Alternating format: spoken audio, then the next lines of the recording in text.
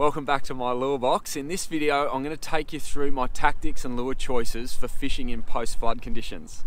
In the last week or so we've had a heap of rain down here in southeast Queensland and it's made all of the systems just run really mud dirty and uh, the colour of the place can just get really frustrating so I've been out fishing, I've been chasing bass, flathead, mangrove jack, trevally, and today I'm out ch chasing bull sharks because they love this dirty water. Lure fishing can get really frustrating when the conditions change as quickly as they have and the water gets super dirty, there's heaps of brush and just debris in the water so it can change the way that you want to fish and change the fish that you want to go for. So let me take you through some of my tactics and I'll show you some of the lures that I like to use during these times. The first thing that I like to do when we get these heavy rains in those first probably 48 hours, the two days of, of post runoff and once it's all draining out, coming out of the drains and filling the canals and the rivers, I like to go and fish around the drains. And especially when it's still clear but it's getting dirty and the first of that runoff's happening, it's a really good time to chase Gold Coast Barra or Barra in southeast Queensland on the sunny coast as well. But even the big mangrove jack I've found in those first couple of days hang out around the drains. Some of the areas where the water pours in, it's a great option to go and hit those as soon as they start to boil over and the water comes through. Some of the lure choices that I'd use for that stuff, you really want to be fishing with weedless rigs. So you know, little plastics are really the way to go. If you're fishing areas where there's drains and not a lot of debris coming out, hard bodies and, and other plastics and shrimp and things like that, bigger baits are, what, are the way to go. But if you're chasing bass, little TT snake lock systems like that, rigged with like a little paddle tail in a really obvious colour, is probably my uh, my pick. So something like this with a really obvious contrast to it, or, or a white, like an Eco Gear Bolt white, in anything from like a three to four inch for bass and mangrove jack, they're the way to go. What happens once it all starts to, to distribute and get pushed all throughout the system, a lot of the fish start to move. And uh, over the years, I've spoken at seminars about the movement of mangrove jack during this period, but you'll get barra feeding but a lot of the smaller fish and, and mangrove jack especially will start to move down the system and get out and try and find some of that clearer more salty water. Some fish do go the other way and get up and hang around in those drains and I've found that sometimes it's those really big mangrove jack that tend to do that and they'll hang around for, for three or four days but generally what I've found and it's been playing out this last week is the, the flathead numbers even bream, trevally, mangrove jack, it all starts to become really difficult fishing, apart from chasing bull sharks. So I'm going to be doing that tonight. But let me take you through some of the stuff that I use when I'm chasing jacks during that time. So diving lures, if there's no debris in the water, they're the way to go. And the contrast on the lure becomes, I reckon, really important in this dirty water. I've got a lot of lures that are kind of translucent or really natural natural contrast and colours to them. But when the water gets dirty, I like to fish with things like this. So really obvious whites and dark colours with contrasting bars down the side and a big deep diving lure that puts out a big vibe in the water. Um, and these are a great barra lure as well, these Jackall Squirrels. So fishing around the runoff and drains and things like that, stuff like that or big soft plastics too with big paddle tails or this is called an oscillator tail or a thumper tail. And big lures like this during those periods of time where it's really dirty they can be super effective as well. Because you've also got the mullet heading up and sitting right up on those drains or washing down with the bait and that's what the barra and the jacks are waiting for. Stuff like this. The other option um, like I said with the weedless presentations, is um, to run a an EWG hook, and this is one of my skip casting setups. You can see that there, that's a flash arrow J shad and it's, it's been rigged weedless like that with a twist lock at the front, a little weight to pull it down, but have a look at that big tail at the back. And that puts out a big vibe in that discoloured water and just gives the fish a chance to be able to, you know, tune in and find it in that really dirty water. And again, just that darker presentation with the silhouette and that profile, I just think it gets found a lot better in, in that dirty water or discoloured water. You want something super obvious. So I've been fishing for bass this week and um, often the bass tend to get blown down in really heavy flood conditions and you can fish from a couple of different ways. If you go chasing bass, you want to be fishing with things like the finesse frogs by Z-Man, little weedless surface presentations or little creature baits like a little um, like a live target field mouse. I did a review on that just this week. The reason for that is up in those fresh systems, there's so much debris and runoff that it can become really difficult to get a lure down through all the weed and stuff. So I use those finesse frogs and they're just such a natural presentation. When you're skipping and throwing in, it's creating that disturbance. Then they've got the little paddling legs at the back. Everything that's getting washed down sits on the surface. So you've got grasshoppers, frogs, rats, mice, lizards, everything, and the bass just start gorging on the surface. And that's especially effective in those first couple of days.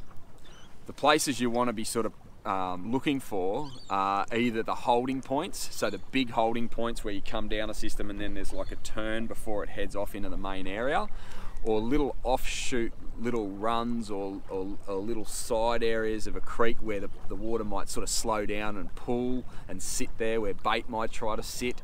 A lot of the time the bass don't want to get washed all the way down. They try to get off onto those little side pockets and sit in there and feed in there. So if you saw my field mouse review, uh, you'll see that those little drains and those offside areas of creeks are really effective to try and get your fish once that flood happens.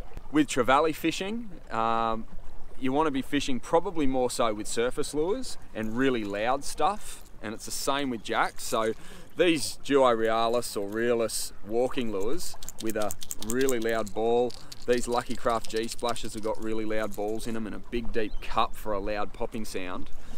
These are really the kind of thing that you want to be using on the surface because the surface disturbance gives the fish a, a better chance of you know honing in on it and finding that bait. So using these around the edges of lakes and canals during that really dirty period is the way to go a lot of the bait when it's getting pushed down through systems will start to sit off on the edges and you'll notice that during the time it's very difficult for the fish to sort of pull up and school up bait in the middle of the lakes because of the, the visibility. So they tend to try and feed up against the edges. So little poppers, walkers, things like that, they're really the way to go during that dirty water period and fishing hard along the edges. Like even throwing it up onto the sand and tweaking it off the sand is a really good way to go. And then around bridges as well anywhere where the water disturbance is sort of pulling in like usual, those areas are like holding points for a lot of the bait to try and stay in their zone and not get washed down too far. During these sort of flood events, in the in the aftermath of that, once things start to cool down a little bit and slow down, one of the best options is to go fishing with prawn and shrimp imitations. And I've been doing some reviews on different shrimp options over the last couple of weeks for mangrove jack and barra. Um, but it's really now when you want to be getting these prawn and shrimp imitations out there and start to fish them because what happens is a lot of the shrimp and that they get out of the mud and they start to move and they end up finding their place between that brackish water the the fresh water run out and then where the salt meets. And if you can find those areas in the rivers in these post flood conditions when it starts to clear up in that sort of week or two afterwards that can be super effective let me give you an example. This is one of these absolute shrimp by um, that Zerek have sort of just released. These things are unreal. But and look at like look at the profile on that thing. Now, as an as an option, I would definitely use that as a first option, but that color profile I think is a little bit more realistic um, and I'd use that in clearer conditions. Even with that little bit of black up the top, I'd prefer to use something that's got a lot more contrast to it with bars down the side. You can see that, and that's even got a glow to it, but the bars down the side, the dark bars, the dark little legs, that's the difference in the types of lures that I'll go for in the floody conditions where there's a lot of discoloration, just so you get an idea on the colour options that you want to go for. Real distinct contrasting lures, even whites, like a really big presence, you know, in the water is a white during those times. So that's the sort of thing that I would use, and these prawn and shrimp in that sort of week to two weeks as it starts to clear up is a great way to go for mangrove jack, everything basically, barra, trevally. Um, barra are a bit different, and, and you know, when there's flood events up north, Uh, similar things sort of play out here a little bit with the small numbers that we've got down here, but it's nothing like the carnage that happens um, further up north in Queensland when there's that big runoff. You really want to be getting after those barra here down around these bigger drains and the bigger runoff areas in that first day or so. And as it starts to slow down, the fishing definitely slows down for them as well. That's some information on how I like to fish it. Bull shark fishing goes goes really well during the dirty water and it's so scary for me. I've been coming down here this afternoon and just watching people swimming in the shallows, getting dragged around behind a speedboat in these canals in the dirty water. Um, it's really a problem, I think and I've, you know, I'm out here going to catch some this afternoon um, and, and, get some action. Know it because they're, they're just in, in, a frenzy out here, but people just don't realise. So hopefully that's helped you with some of your options. I think the flathead fishing it's made very difficult when it gets really dirty. You want to head right down to the mouth of those systems, especially if you're using little plastics and things like that. Um, and the darker colours are the way to go. You want to be fishing mainly sort of weedless, so you're not picking up all of that you know the the weed and the reeds that are getting pushed down and all the um, even the freshwater weeds and, and lilies and things are coming down the system this week. So hopefully that helps with what you're trying to do. The bass fishing you know it's fun because you can get right up at the top of systems if it's not too big of a flood. And uh, and the bass will make their way up using that new water. Uh, but with a big flood event like we've had, where it's like 250 mil, a lot of the bass get knocked around and thrown down into the system. So places like Nerang, you can start to fish some of the top bridges there um, as an option, and through that top area of Nerang River, where you'd usually chase, you know, trevally and jacks, you tend to get some bass as well that have been blown down as well. So anyway, I hope that helps you. Let me know what you think and if there's some techniques or tactics that you like to use in these runoff conditions, let me know in the comments what you think and how you like to do it.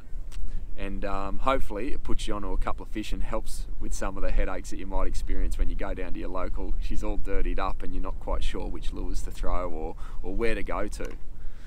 Alright, I'll see you in the next video.